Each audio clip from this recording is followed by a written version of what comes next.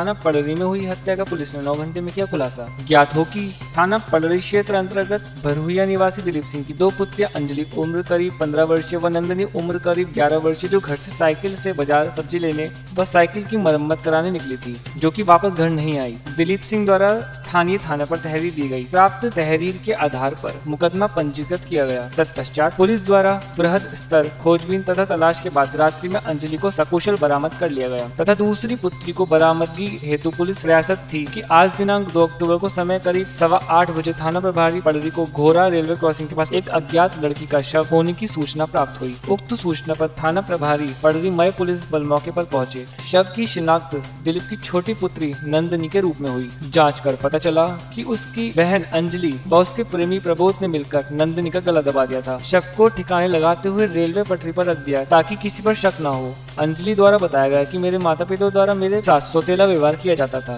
तथा नंदिनी को ज़्यादा प्यार दुलार किया जाता था और वह हमारे प्रेम संबंध के बीच में बाधा उत्पन्न कर रही थी। लापता हो गई थी? आज इसका शव बरामद हुआ है और गिरफ्तारी भी हुई है। सर क्या था पूरा मामला देखिए कल दो ढाई बजे के आसपास एक भरुहिया गाँव पड़ता है थाना पड़री जनपद मिर्ज़ापुर में। दो सगी बहनें अपने घर से साइकिल से सब्ज़ी वगैरह लेने के लिए निकली थी।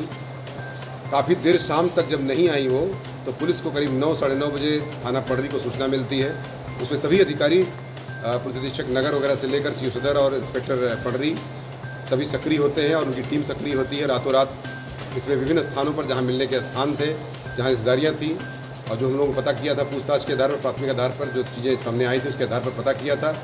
तो जिन रिश्तेदारों में पता कर रहे थे, उन स्थानों पर, कुछ स्थानों को लेकर, उनके चाचा वगैरह को लेकर के मिलने के स्थानों पर दबिश दे रहे थे तो उसी दौरान सूचना मिलती है कि ट्रैक के किनारे मोटरसाइकिल से जो दो लोग आ रहे हैं तो उसको फिर पकड़ा जाता है। और पकड़ने के बाद से पूछताछ की जाती है। पूछताछ के बाद ये घटना सामने आती है कि वो लड़की जो छोटी वाली थी जो दस ग्यारह साल की थी, वो इनके प्रेम में एक बाधा के रूप में सामने आ रही थी, जिसके लिए उन्होंने टारगेट करके उसको जो है उसकी गलत दबा करके और ट्रेन के सामने रख करके उसकी हत्या कर दी।